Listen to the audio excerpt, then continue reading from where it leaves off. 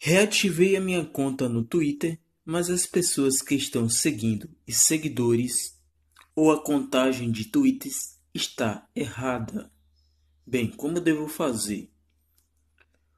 Muitos seguidores ou seguidoras está com seus seguidores e seguindo ou até mesmo com a contagem de Twitter não exibido imediatamente seus números anteriores no momento da reativação da conta.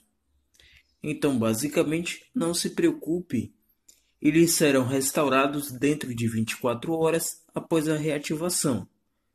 Se caso tenha passado aí pelo menos 48 horas e a contagem ainda não tenha sido restaurada, você vai seguir o formulário que eu vou estar te mostrando agora.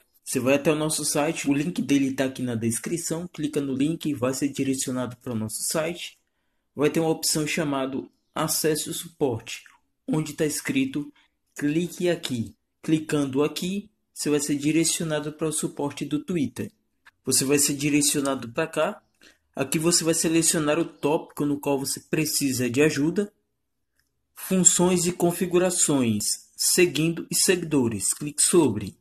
Nossa equipe de suporte analisará as denúncias de bugs e funções corrompidas. Não conseguimos responder as denúncias individuais, mas as informações fornecidas nos ajudam a melhorar o Twitter para todos. Estou relatando um problema com. Tem quatro opções. A primeira, seguir outras contas.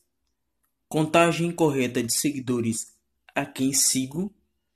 Gerenciar minhas solicitações de seguidores e outros.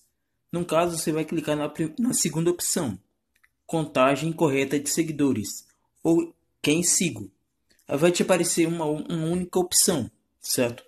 Mas antes te aparece a seguinte informação: se a sua conta foi reativada ou reabilitada recentemente, aguarde 24 horas para a contagem voltar ao normal.